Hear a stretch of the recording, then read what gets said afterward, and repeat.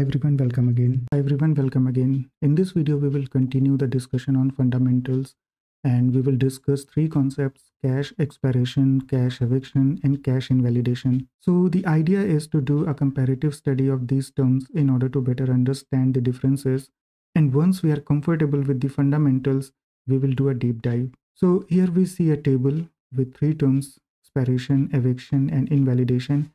And in the first column, we see three rows each row specifies a criteria like definition, the purpose, and the implementation. So if we start with cache expiration, the definition says it's about considering a cached item stale. What do we mean by that?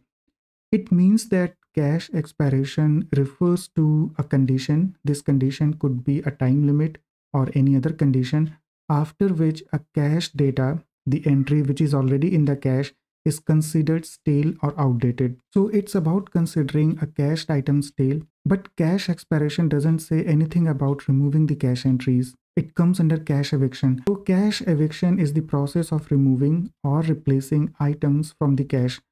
How do we decide which entries to remove or replace? That we will discuss in a second. But it's about removing or replacing cached entries. In case of cache invalidation, the cached entries are marked invalid explicitly which may trigger a refresh or refetch of the original data from the original source. The important thing to note in cache invalidation is that the entries are marked explicitly and proactively. Moving on to the purpose when we talk about cache expiration, the goal is to ensure that the cache data remains fresh and up to date and we do it by periodically checking and updating the cache. Cache eviction has a similar goal. It not only ensures that the most relevant and frequently accessed data is retained in the cache, but it also manages the size of the cache. And it's important because caching is about storing a subset of data. And so we need to use the cache storage intelligently.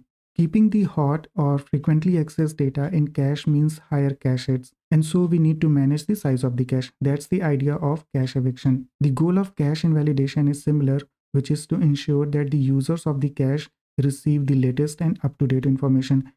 The only difference is it does it proactively and uh, generally in response to the changes in the underlying data. So for example, we have a database, an employee database, and then we have a cache where we are storing the frequently accessed employee objects. Now let's say one of the employee objects got changed in the database that would trigger a notification and we may choose to proactively invalidate the entry, the cached entry, which got just updated in the database, which will trigger a refresh. That means the cache will now read the updated information of that employee from the database.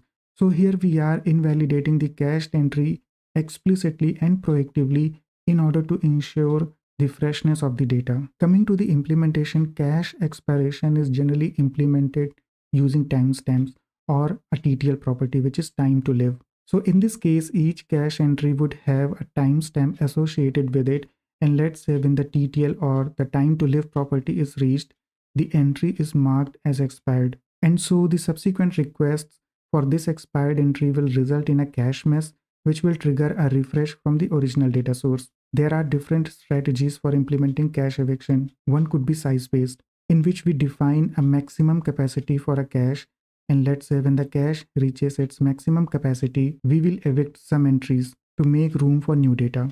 The second strategy could be condition based. We have different policies like LRU, least recently used, LFU, least frequently used, or most recently used.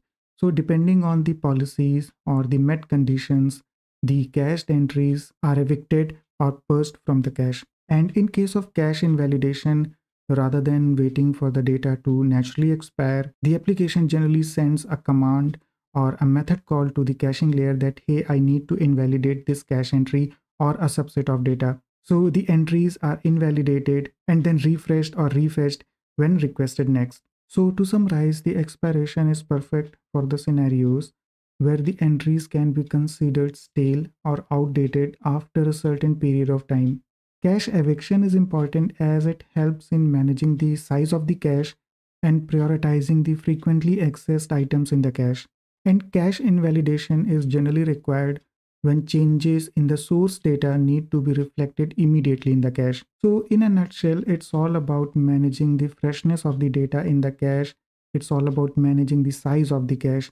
The only difference is In some cases, it happens naturally, but in other cases, it's often event driven or happens proactively. But they all help in optimizing the performance of the cache and relevance of the cache data. So that's all on the basics of expiration, eviction, and invalidation. And in the upcoming lectures, we will spend some more time on these concepts. So that's all for now. See you in the next video.